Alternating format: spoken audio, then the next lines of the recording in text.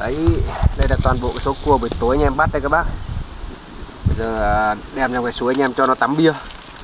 Lát nữa chú lấy cái nước bia này để à, hòa với là cái à, me. Và còn ít thì cho vào cái nồi cháo luôn.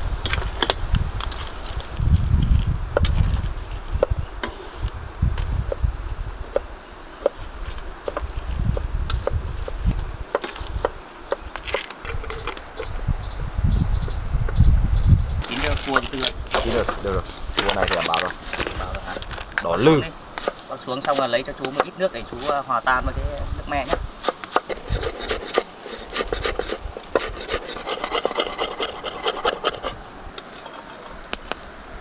cũng hay nhỉ hôm qua dưới suối thì nó đen thui các bác mà bây giờ nó lại vàng lên lại đỏ lên như này à, cua này thì bây giờ anh em sẽ tách toàn bộ thịt ra rồi ờ, chúng mình làm cái món sốt me với lại một ít thì sẽ nấu cháo các bác. Nói chung là bây giờ chịu khó ngồi tách thôi. Tách được ra thì lát ăn nó nhạt hơn, sướng hơn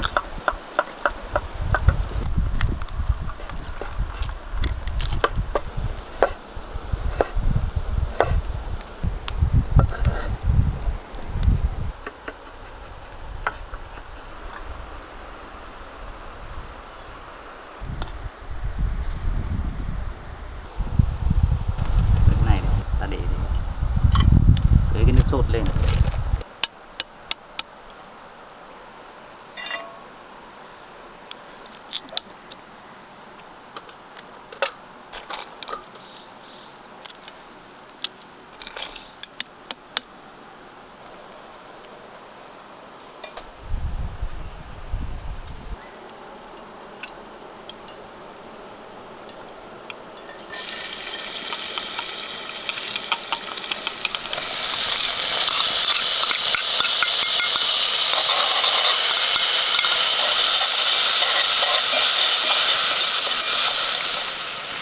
này là nước cốt me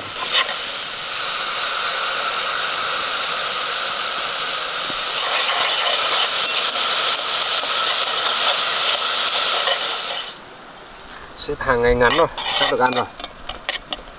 Đấy, cho chút rau vào. Rau thơm. Xong là tưới lên đây luôn. Tưới lên đấy luôn. Ồ, được.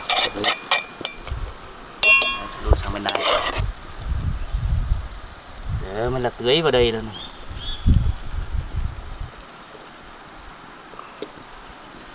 Thế là chỉ việc cầm lên là ăn thôi mà. Thế thôi. Ngon đấy nha. Ngon chứ tư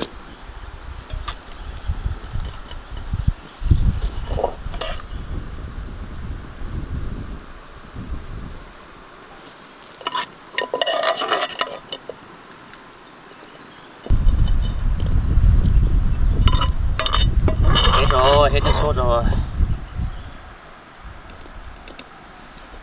rồi còn món lạc này nữa này có vậy là xong. Ờ, vậy. Nói có vậy thôi mà ờ, ngồi loay hoay từ anh gỡ cái, ờ, cái, cái, cái, cái, cái thịt cua để nấu cháo. Đến hơn một tiếng đồng hồ tiếp. cái câu là khổ trước sướng sau là chưa bao giờ sai. Này. đấy chỉ khó bóc được khổ được tí nhưng mà nấu cháo thì lát chỉ có việc ăn thôi. Rồi cho vào chú. Ừ. khổ trước sướng sau. Vẫn là cái muối chậm của mình đấy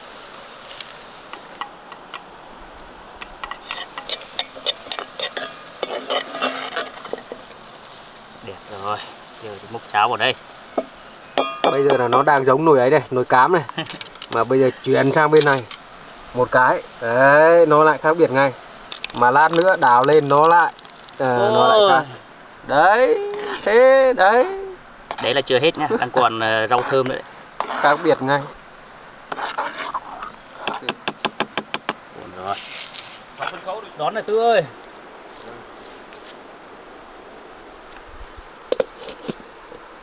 con cháu thì uh, xong ví dụ chuyện được ờ, ít tam rồi cả cổ đấy ăn của tam phải là con này chảo này bát chảo này Rồi em mời tất cả các bác nhá Ý, chén thôi các bác ơi Anh em ờ, mời ờ, nó các này. bác ăn cua anh em nhá.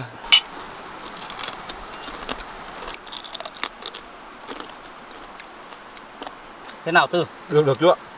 Được. Làm tí ớt, đúng rồi có ớt cay cay nó mới kể cả ớt ờ, chanh đấy. Đây. bảo lát nữa ăn cháo này. rau thơm này này. Đấy, chuẩn bị hết ngon thật. Đây là những cái càng to á là anh em nấu cháo rồi. Còn cái này là cái phần mình thử chân của nó thôi. Vâng. Còn chúng mình nấu sốt me rồi tưới lên trên. cái Mời các bác nhá. Ừm, có đậm đà không hà? Nó chua chua nhỉ? Có có me không chua chua các bạn. Đấy, chua cái kiểu cái cái thịt cuồn này chúng mình đã bóc hết các cái yếm với um, kiểu như các cái chân to này kia đó. Lúc mình ăn thì ăn cái phần mình của nó. Nó cũng mềm này.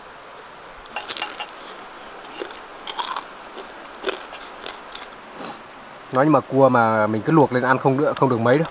Nó nhanh ngán lắm. Nhưng mà đúng nấu kiểu này ăn ngon thật. Khác biệt nó nhiều vị. mà ngán này em nghĩ là do cái gạch của nó mình ăn phải cái gạch cái mỡ của nó nhiều là ngán chưa cái gạch của nó. Ừ. Chúng mình ăn ớt thì cứ gọi là như chào màu này. Vâng, Mình chưa, cua đang ngon mà. để lâu quá rồi kiểu là cháo nó cũng nở đặc mất rồi Ngon thế này cơ. cho rau thơm sau giờ cho từng ớt trước Mình ớt. Tưởng là vẽ trái tim. Thiếu chú Minh ạ. kim à, Kim À, hoa hồng, hoa hồng nhưng mà Đây, chúng mình có có phải hành từ, từ, từ từ từ từ từ từ chưa đây này Làm sao? từ đã Đấy, À, vẽ à. người ta À, đây đây, hoa hoa. vẽ hoa hồng nữa đã chứ Ừ. Đấy. nhưng mà chú vẽ Hoa là trông như hoa phủ dung nữa, hoa hồng. cái phòng to quá kiểu là thế Đấy. Hoa hồng như kiểu nở bung nở bét hết. Đúng là người. Cô đơn nên là bây giờ suốt ngày hoa với thôi. chuẩn nhá mười nhá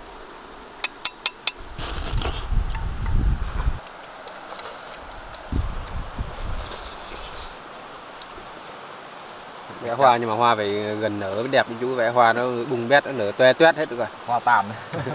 Hoa trọng tàn. Ây, cơm no, À, quên, cháo no, rượu say, à không, không có rượu không say. Anh em ờ, chắc là bây giờ ờ, xuống nghỉ ngơi, tắm rửa tí rồi ờ, lên trên rừng lấy nốt một cái tổ ong các bạn. Hôm nay anh em đang gặp một cái tổ ong nó trên cây cũng thấp thôi, nên là cũng thông thả lấy tí rồi về thôi.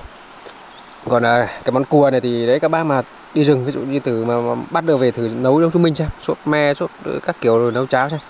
Ăn em thấy là nó nó dễ ăn, nó ngon hơn là ta cứ luộc. Nói chung là cứ luộc hoặc là bỏ ống rồi lam hoặc là nướng gì đấy thì ăn nó tương đối ngán. Thì các bác cứ thử xem nấu cháo nó chứ các kiểu. Ăn thử các bác nhá. Còn à, bây giờ anh em mời các bác lên rừng với anh em. Chúng ta đi à, lấy một tổ ong nữa rồi anh em về.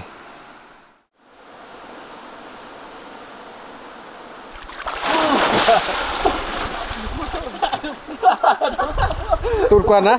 Con tụi con. xong chết các em nhìn thấy rồi nha. Ăn mân bí tục quần nha.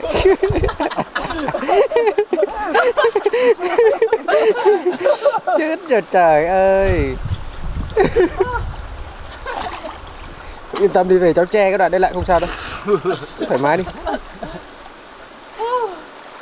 Có cái gì đâu mà phải lo người ta nhìn thấy cái tí với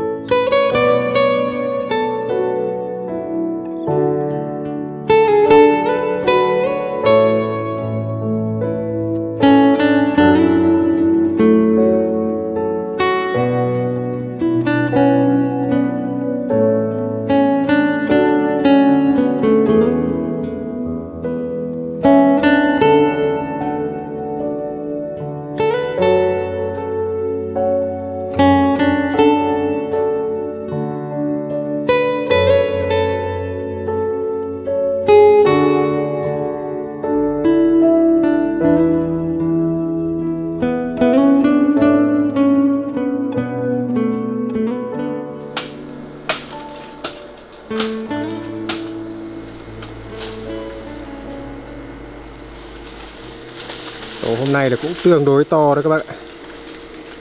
Tương đối phần bên chỗ cái eo eo này là bầu mật của nó đấy các bác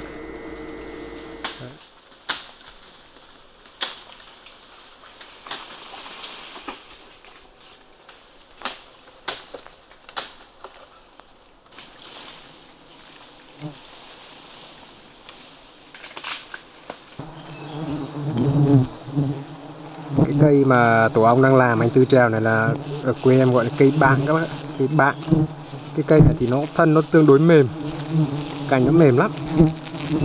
Mà cái cành của tổ ong làm thì nó tương đối là nhỏ và dốc xuôi về về về, về ra phía ngoài ấy.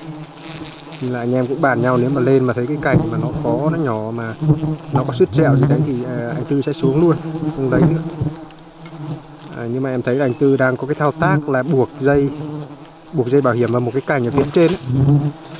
thì có thể là anh Tư đã có quyết định là sẽ ra lấy nhưng mà sẽ buộc thêm dây bảo hiểm ở cái cành phía trong trong trường hợp mà không may cái cành nó yếu ấy, thì đang có cái dây ở phía trong này nó giữ được Đấy, cho nên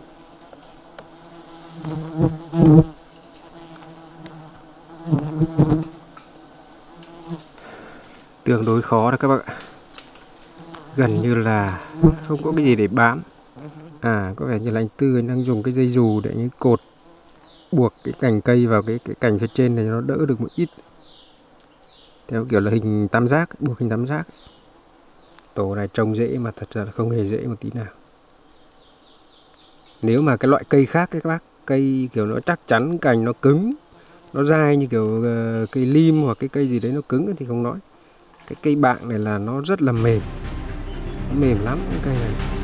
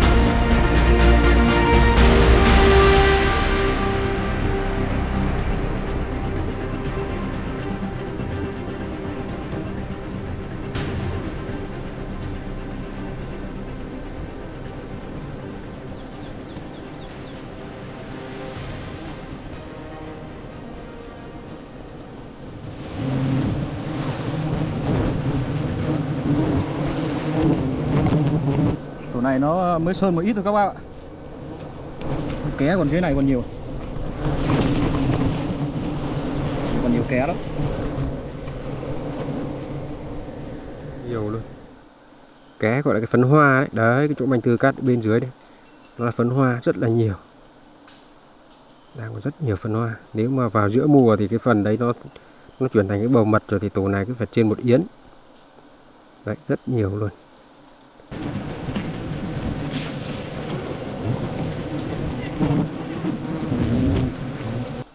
Năm sáu cân bình thường. Các bác thấy là như ở trên video các bác thấy nó nhỏ nhưng mà các bác thử so sánh với cái đùi của anh Tư ấy. đấy so sánh với cái đùi thì nó gần như là to hơn bằng hoặc to hơn. Đấy, to hơn cái phần đùi của anh Tư. Thì nó cũng phải rơi vào khoảng tầm 5 6 cân.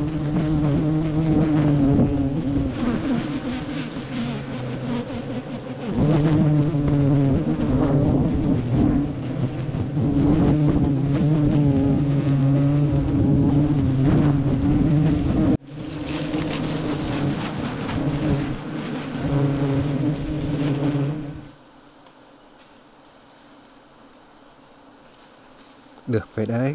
Tổ này ngon lành. 5 6 cân.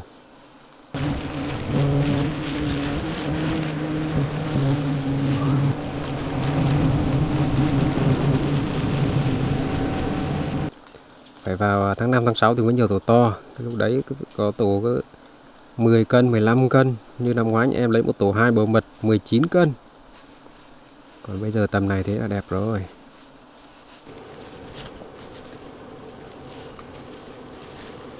Rồi, an toàn rồi túng được vào cái cành đấy là thấy yên tâm rồi.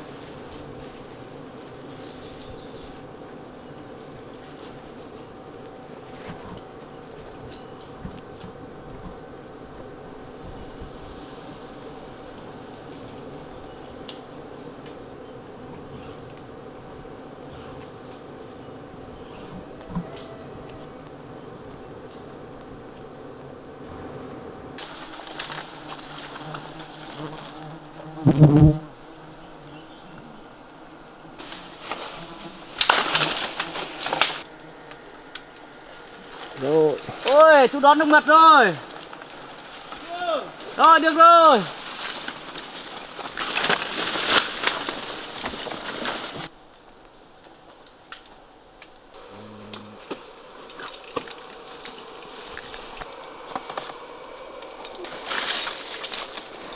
Tổ này hiền phết nhỉ? Bình thường mà lấy xong cái này xuống nó đuổi chạy mất dép ấy. buổi sáng nhưng mà tổ này lấy xong là bây giờ Ui, đầu mùa mà Đầu mùa thế này là mật đẹp đỏ phết nhờ Phết. bốn năm cân chắc đét. Năm cân. Đây là phần của con cháu để lại cho rừng này. mong à, các cố đi trước rồi à, phù hộ cho con cháu nhiều sức khỏe đi kiếm được miếng ăn